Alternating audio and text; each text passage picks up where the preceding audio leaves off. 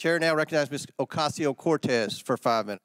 Uh, Thank you, Mr. Chair. Now, it has been repeated, and I would also like to repeat that the allegations being presented uh, by the majority are extremely serious, and the prospect of impeachment is also a gravely serious matter, which has been echoed by our witnesses today.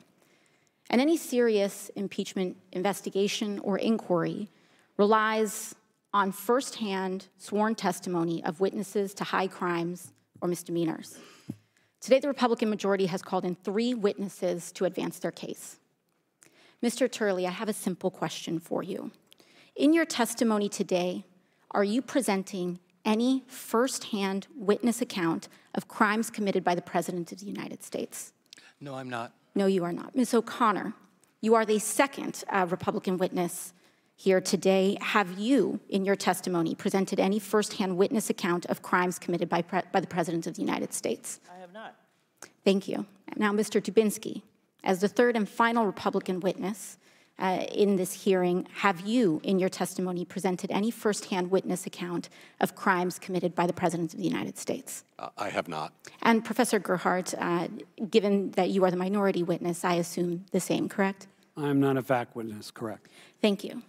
And to clarify, two individuals presented today who do have firsthand accounts surrounding the progeny of these allegations are being blocked from testifying by the Republican majority. And I want to explain why this is important. Members of Congress, all of us in this hearing, are not under oath, as we are presently covered by the speech and debate clause. Isn't that correct, Professor Gerhardt? That is correct. And the speech and debate clause covers all statements by a member of Congress, whether they are factual or not. There are only four people in this room that are presently under oath in their testimony. And those are the four witnesses here today. Is that correct, Professor Gerhardt? That is correct. And so the direct testimony of the four individual witnesses here today are the bona fide words that this committee must use in order to proceed or substantiate an investigation. And I want to, uh, I want to emphasize why that's important. Earlier today, one of our colleagues, a gentleman from Florida, presented up on this screen something that looked, appeared to be a screenshot of a text message containing or insinuating an explosive allegation. That screenshot of what appeared to be a text message was a fabricated image. It was a fabricated image.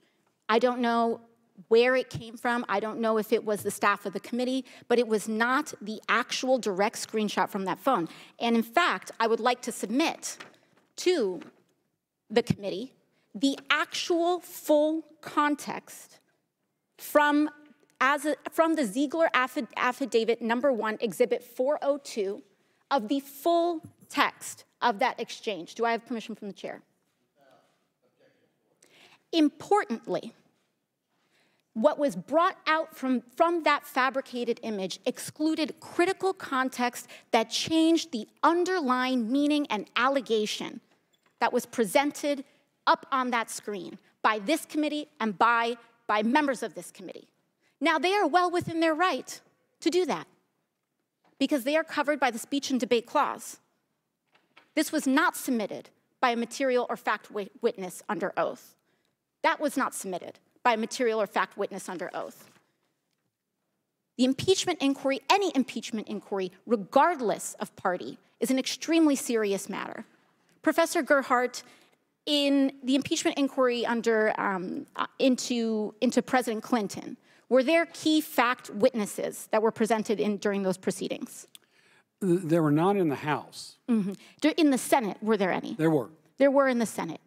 Now, in the impeachment, uh, in, in, the impeachment investigations with, uh, with, President, with respect to President Trump, were there key material fact witnesses in the House? yes, ma'am. There were. Are there any key material fact witnesses here today? No, ma'am. None. And so we are wasting our time. When we talk about a threshold of an impeachment inquiry, was there a House floor vote that had a majority of members of Congress that opened an impeachment inquiry into President Clinton? There was. There was. Was there a full House floor vote uh, opening an impeachment inquiry into President Trump? in 2019. Is there one here for this one? Not for this one. There is not one here for this one. This is an embarrassment. An embarrassment to the time and people of this country.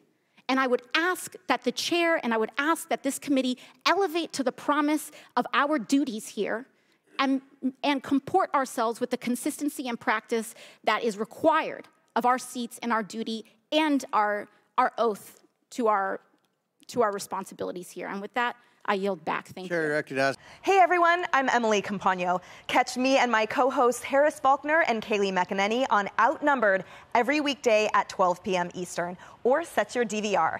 Also, don't forget to subscribe to the Fox News YouTube page for daily highlights.